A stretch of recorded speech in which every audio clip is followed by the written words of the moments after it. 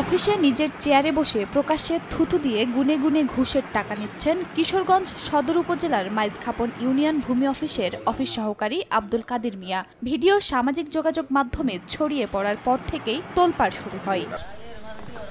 এ ঘটনায় তদন্ত কমিটি গঠন করা হলে অভিযোগ প্রমাণিত হওয়ায় রোববার কাদের মিয়াকে সাময়িক বরখাস্ত করা হয়। কারণ দর্শানোর নোটিশে সন্তোষজনক জবাব না পাওয়ায় বরখাস্তের সিদ্ধান্ত নেয় কর্তৃপক্ষ। এটা তদন্ত হবে তদন্ত হলে যদি সে দোষী প্রমাণিত হয় তার বিরুদ্ধে বিভাগীয় ব্যবস্থা নেওয়া হবে। দুর্নীতির বিরুদ্ধে সবসময় আমরা জিরো টলারেন্সে আছি ভূমি বিষয়ে কোনো দুর্নীতি আমরা এটা সহ্য কোনোভাবেই করব না।